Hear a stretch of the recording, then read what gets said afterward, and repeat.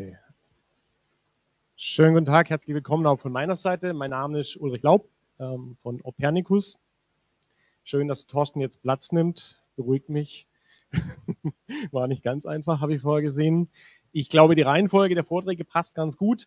Stefan hat im Vorfeld in seiner Keynote davon gesprochen, ähm, wie die Problematik in Bestandsgebäuden teilweise ist. Jetzt haben wir gerade gehört, wie ein Speicher da ist und teilweise mit IT-Dienstleistern das Ganze noch ein bisschen erweitert wird. Und an der Stelle passt ganz gut. Wir sind IT-Dienstleister. Oh, jetzt macht das doch. und ähm, ich habe einen Bericht mitgebracht eines Projektes. Dort geht es um bidirektionales Laden und maximale Autarkie mit, mit OpenEMS. Ich denke, ich kann die Zeit wieder reinarbeiten. Ich brauche nicht ganz so lange, dann gibt es im Anschluss noch einen Kaffee. Ähm, die Ausgangssituation beim Kunden, wir sprechen hier von maximaler Autarkie. Der Kunde hat sich vom Netz getrennt. Ich denke, der Grund liegt irgendwo, glaube ich, in der fehlenden Einspeisevergütung letztendlich. Hat sich entschieden, sich komplett vom Netz zu trennen. Hat für die PV-Erzeugung oder zwei PV-Anlagen auf dem Dach hatte, als wir begonnen hatten, ein Victron-Speichersystem mit ungefähr 16 Kilowattstunden und auch ein zweiter stationärer Speicher noch dabei gehabt. Eine relativ einfache Ladesäule, prinzipiell eine Steckdose und im Bereich Wärme ein, ein DAX, Blockheizkraftwerk und ein Heizstab waren dort bereits im Einsatz. Das Ganze hat zu gewissen Problemen geführt. Der Kunde hat keinerlei Übersicht gehabt, was sein System überhaupt denn da tut. Die beiden Speicher, die dort agiert haben, haben teilweise gegenläufig gearbeitet. Der eine entladen, der andere beladen. Ähm, und er hat mehr oder weniger was in seinen Händen, was die einzelnen Komponenten tun, was das Blockheizkraftwerk, was die Ladesäule tut. Beim Blockheizkraftwerk war es da Gang in den Keller, den er täglich gemacht hat, das Ding anschalten, wieder ausschalten. Und äh, bei der Ladesäule musste er raus in Carport und entsprechend Auto anstöpseln oder wieder wegnehmen. Der Wunsch des Kunden und auch damit unsere Projektziele waren, das ganze System zu integrieren, alle Komponenten in ein Energiemanagementsystem zu bündeln. Wir haben zudem den zweiten stationären Speicher, der sich auch nicht hat ansteuern lassen, ersetzt. Und äh, auch da greifen wir wieder den Vortrag von vorne ganz gut auf. Ähm, es kam ein Fenecon Home als zweite äh, stationäre Speicherlösung zum Einsatz. Der Kunde wollte die Ladesäule ersetzen, die da war, durch eine bidirektionale Lademöglichkeit und eben die Kapazität der Batterie mitnutzen für das System. Und bezüglich des Bereichs Wärme eben, dass das Blockheizkraftwerk über das Energiemanagement steuerbar war, dass er es von seinem PC aus über das Mobiltelefon eben bedienen kann und dass da auch eine gewisse Automatik mit implementiert wird. Ähm, das Ganze war relativ aufwendig, was auch die beteiligten Parteien anbelangt. Zum einen OpenEMS war die Wahl für das Energiemanagementsystem. Und wenn man solche Projekte umsetzt, dann gibt es einen Installationspartner vor Ort. In dem Fall war das BSH. Da gab es einen regen Austausch. Äh, die hatten Fragen, wie sie Dinge genau zu beschalten hatten, wo ähm, irgendwie Zähler hin mussten.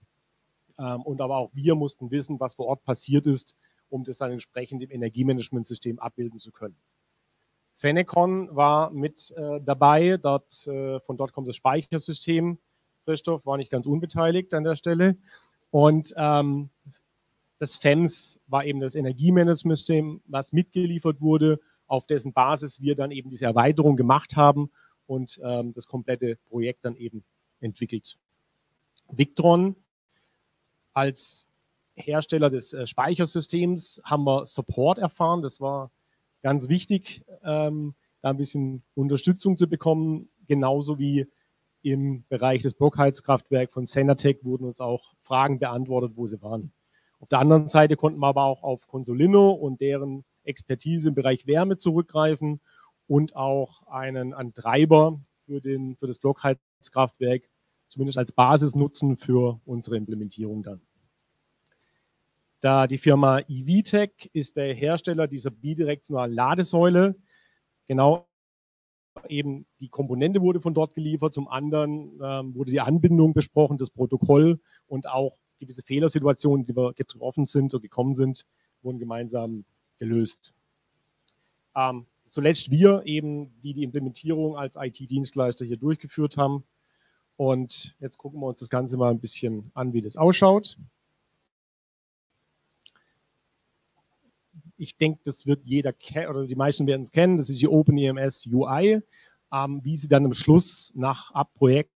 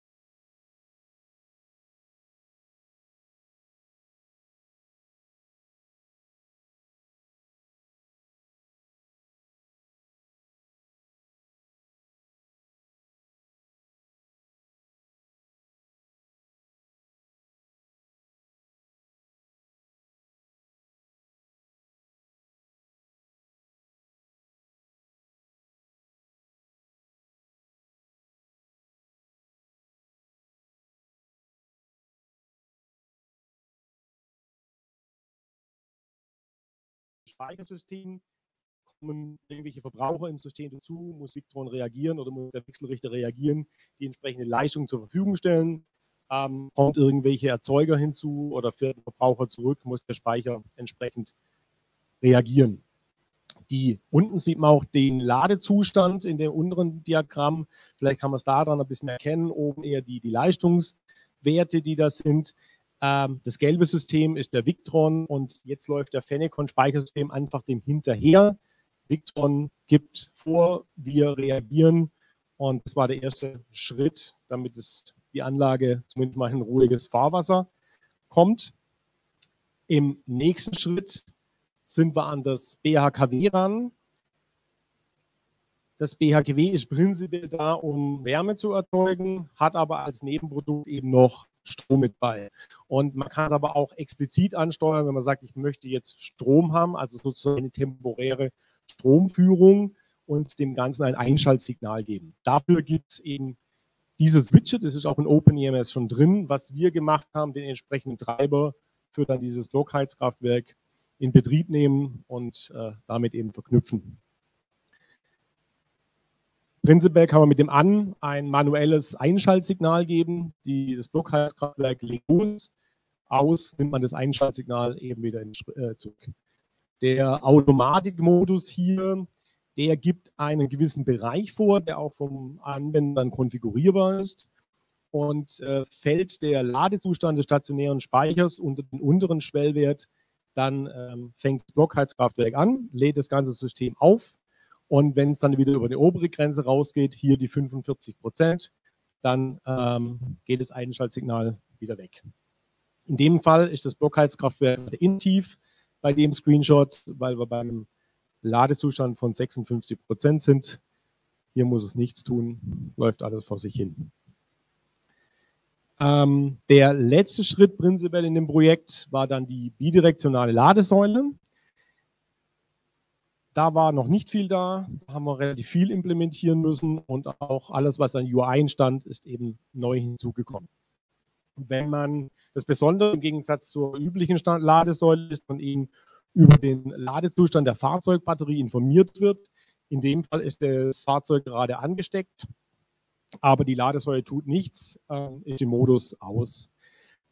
Zudem taucht die Ladesäule noch bei den Erzeugern und bei den Verbrauchern auf. Wir hatten uns Gedanken gemacht, wie man das irgendwie reinbringen. Ist es ein Speicher oder wie decken wir das Ganze ab? Und haben uns dafür entschieden, in dem Moment, wenn wir die Batterie einfach entladen, dann wird es zum Erzeuger. Ähm, laden wir das Auto, wird es zum Verbraucher. Es gibt ja auch keine Bilanz diese oder keine, keine Ausgleich. Man kann ja mit dem Auto Energie aus dem System raustragen oder auch von außen reinbringen. Und für uns war es der eleganteste Ansatz, so reinzumachen. Ähm, Aktuell in dem Screenshot hier ist die Ladesäule aus und wir haben uns bei dem Projekt entschieden, hier vier Modi zu implementieren aus. Das ist ein bisschen der einfachste. Und äh, der zweite Modus, äh, der Ladenmodus. Das heißt, die, das ist, wird die äh, Ladesäule wie eine Standard-Ladesäule an sich benutzt. Das heißt, Energie fließt nur in das Fahrzeug, nur in eine Richtung. Und was dort passiert, die Leistung, aber auch die Energiewerte werden dann unter den Verbrauchern eben gelöst.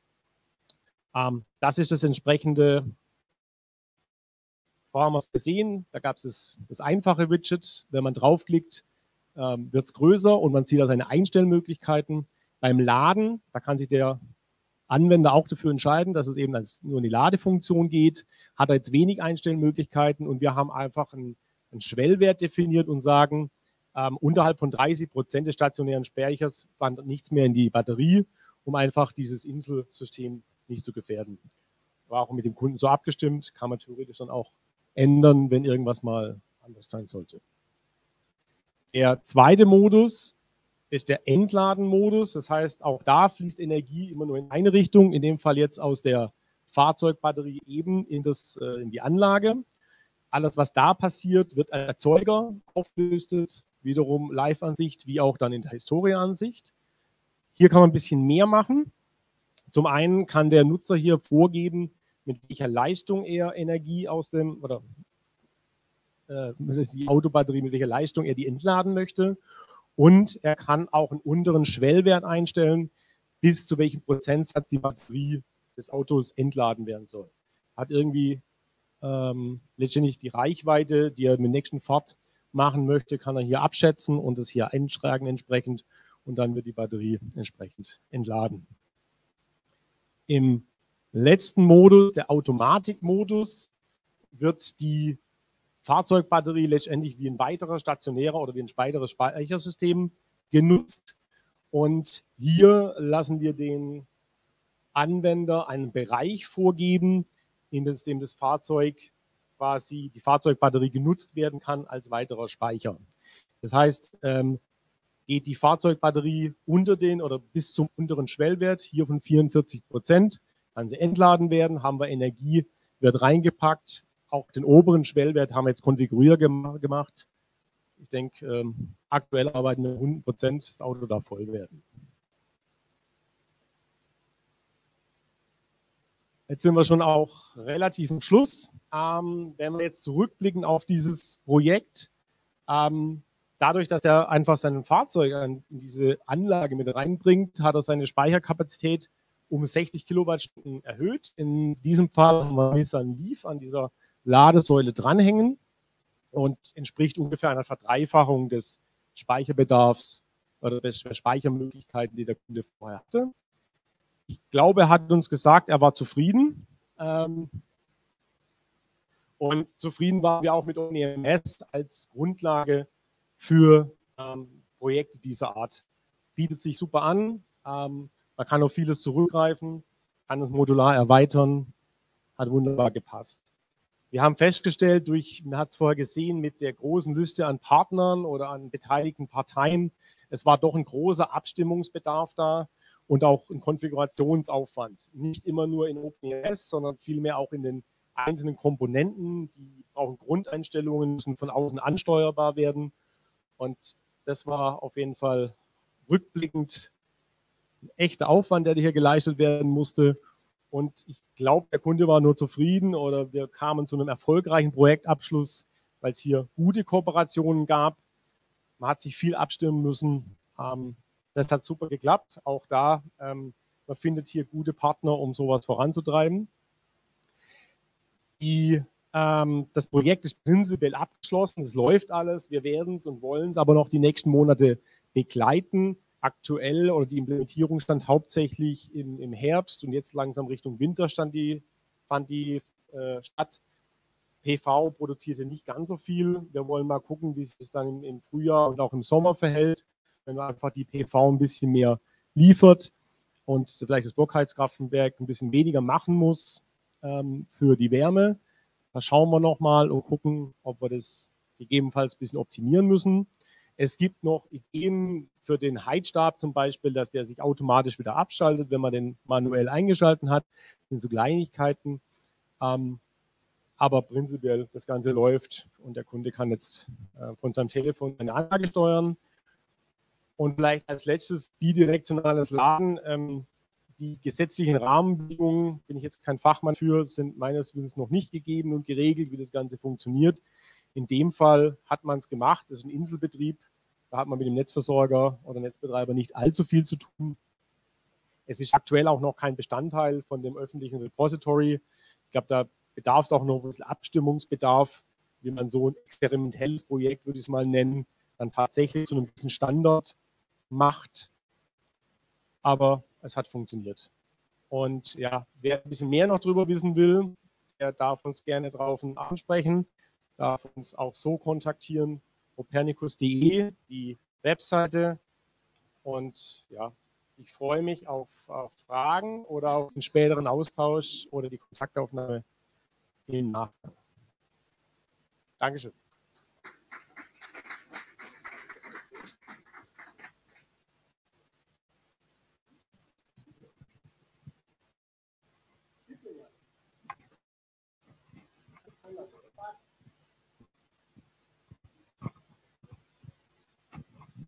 Eine Frage ist, ähm, du hast ja äh, gezeigt, dass sie quasi ja, das als speichererweitertes Fahrzeug hat und dann äh, kann er B- und entladen äh, wie gewünscht. Ähm, wie ist das vom Fahrzeug her oder von der Ladesäule her? Kann er das OpenEMS quasi die Anforderungen an das Fahrzeug stellen? Muss das dauerhaft an sein oder wie ist das geregelt, dass diese quasi B- und Entladung dort äh, umgesetzt werden kann? Also prinzipiell ist es eigentlich nur eine positive oder negative Leistungsvorgabe an diese Ladesäule. Ihr kennt es wahrscheinlich die Ansteuerung der Ladesäule. Man macht eine Ladevorgabe und geht davon aus, dass die Ladesäule einfach das tut, was man auch macht. Und in dem Fall haben sie einfach ausprobiert, die Signale gegeben und wie gesagt, VTech als Hersteller hat uns da auch unterstützt, wenn es um die Protokollimplementierung geht, um die ersten Tests. Also letztendlich einfach nur Vorgabe machen, das Auto reagiert und dann hat es gepasst.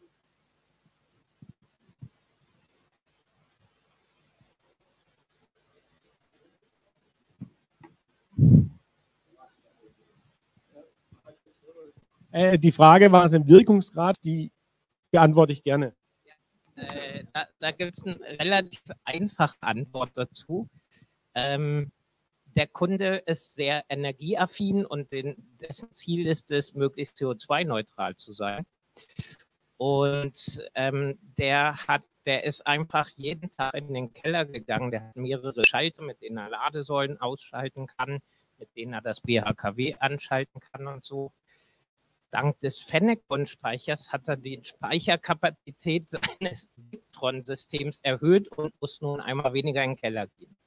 Und die Idee war nun, nachdem er jetzt auch noch ein, ein Auto hat, was man bidirektional laden kann, hat er seine Kapazität vervier, verfünf, versechsfacht und jetzt muss er sehr wenig in den Keller gehen und dank OpenEMS und den automatischen Schwellwerten muss er eigentlich überhaupt nicht mehr in den Keller gehen. Also der Wirkungsgrad ist äh, ganz hervorragend.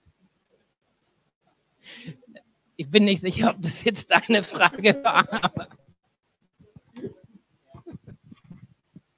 Ja, ich möchte es noch ergänzen, weil äh, ich bin nicht ganz unschuldig dran, dass ich das Projekt gehabt habe. Das war ein Hilfeschrei von dem, weil, weil er halt schon zwei Speicher sich gekauft hat mit einem tollen Energiemanagement. So wurde es ihm verkauft. Und äh, das hat halt äh, ein Jahr äh, nicht funktioniert und ist nicht zum Laufen gekommen. Und dann war ich mal ganz frech und habe ihm gesagt, ja, wenn du jetzt einen OpenEMS-fähigen Speicher hättest, dann würde da äh, über 50 Prozent schon von alleine funktionieren. Und dann ist er wirklich zu seinen Speicherherstellern gegangen und hat, den, äh, hat da Werbung für uns gemacht und die haben aber abgewunken. Und dann haben wir gesagt, naja, ich könnte jetzt einen von uns verkaufen. Und äh, das hat er dann wirklich, äh, darauf ist er wirklich angesprungen. Aber nochmal zum Hintergrund. Das ist jemand, der halt wirklich zeigen will, was geht. Aus unserer Perspektive, aus, aus Fenecon-Perspektive oder aus OpenMS-Perspektive ist es eigentlich sowas wie ein Technology Proof, um zu zeigen, was geht von der Serie sind wir noch weit weg, weil äh, eine Kleinigkeit, vorhin zu spät gekommen, vielleicht hast du das vorher noch gesagt, der, der funktioniert wirklich nur im Off-Grid-Betrieb und das war die Anforderung vom Netzbetreiber. Äh, also gerade mit der bidirektionalen Ladesäule nur im Off-Grid-Betrieb. Und äh, ja, trotzdem, äh, über solche Dinge äh, äh, bringt man ja etwas voran. Und äh, wenn jemand von euch sowas jetzt zusammen mit einem Pfennigspeicher bestellen will, dann müssen wir leider abwinken. Aber die Kollegen, die machen solche Projekte gerne. Vielleicht noch eine Ergänzung an der Stelle. Wir, ähm, wir beschäftigen uns jetzt auch schon länger mit OpenEMS und in dem Fall hatten wir ein Fennecon-Speichersystem mit dem FEMS und wir hätten natürlich auch gern dieses Off-Grid-System mit dem FEMS gemacht, weil da kennen wir uns einfach aus. Ähm, der Punkt war aber einfach, dieses System lief bei dem Kunden mit dem Victron schon seit mehreren Jahren absolut zuverlässig. Der Victron ist auch sehr stabil bei diesen Sachen und deshalb haben wir dann irgendwann die Entscheidung getroffen, dass das FEMS quasi, also die Fennecon-Batterie einfach hinterherläuft. Das heißt, nach wie vor wird das Off-Grid-Netz von dem Victron geregelt, aber das Energiemanagement hängt sich an den Victron dran und macht die Bedingungen so, dass dem Victron das Leben einfacher gemacht wird. Und das ist, finde ich, schon beeindruckend. Also war ein schönes Projekt.